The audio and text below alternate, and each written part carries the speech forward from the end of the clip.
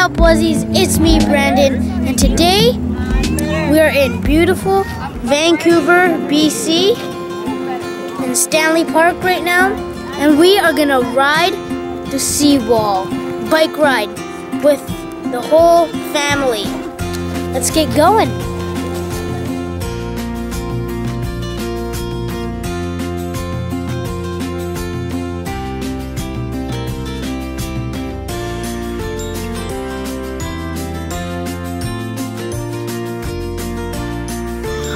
Guys, we had to stop to take a second to look at this amazing view we've got here. We've got all the buildings and stuff.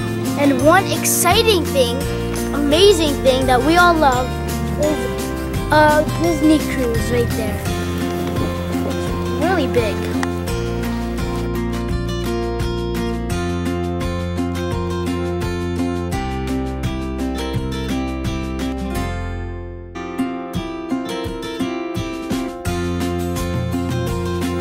All right, so there, it's really hot outside today. Not a cloud in the sky right now. And look at this. I Want to see some things that I'm very scared of? Dun dun dun dun. Dun dun dun dun. Goose.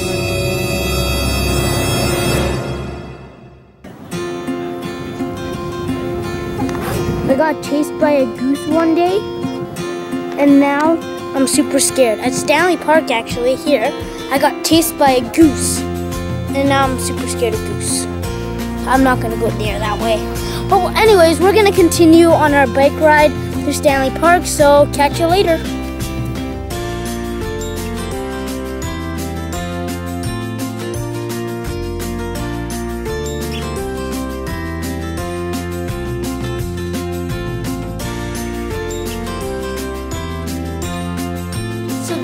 Is our second uh, checkpoint underneath a lighthouse. That may sound kind of weird, but it's true.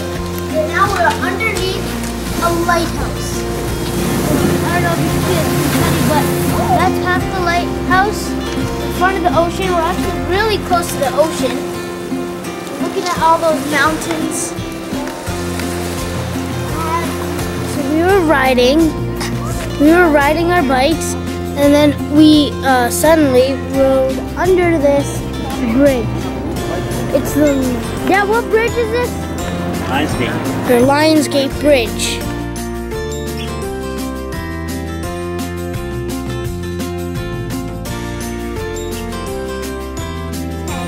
Yeah. All right, so we made it to our um, what's it called again? Pit stop, which is this lonely island. It's separated by only like 10 feet. So it's this lonely island with two lonely birds and three trees. Only three trees on there.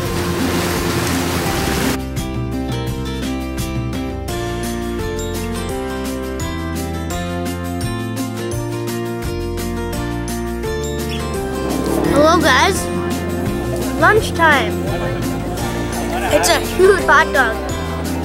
Hmm. It's not even big enough for the bun. But we're at another beach now, second beach of the day.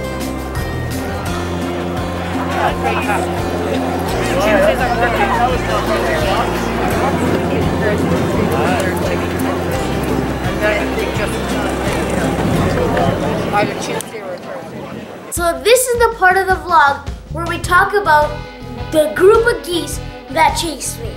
Alright, so let me walk you through what happened. So we were just biking through this one, one long path, and then we came across these uh, group of geese uh, just walking along, minding their own business, walking to the right of us. And me and my dad were thinking, he's like, oh my god, we have the greatest idea ever. What if we place a camera on the ground and let the geese walk right through it? And it worked so perfectly. Alright, we turned that original footage and turned it into this.